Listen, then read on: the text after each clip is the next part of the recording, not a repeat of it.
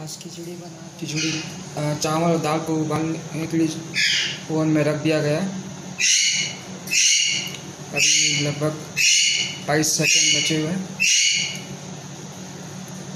फिर देखते हैं हमारा खिचड़ी कैसा बना।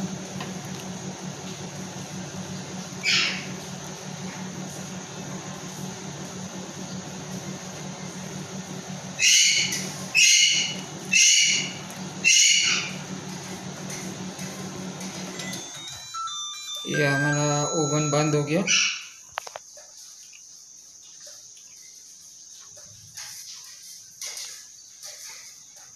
इसको खोलते हैं। गर्म होगा।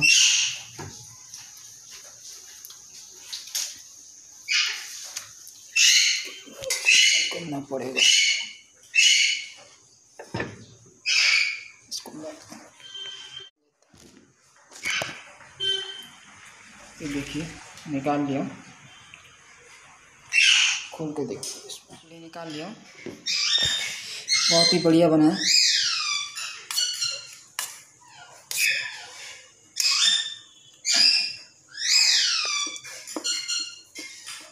बहुत ही टेस्टी है।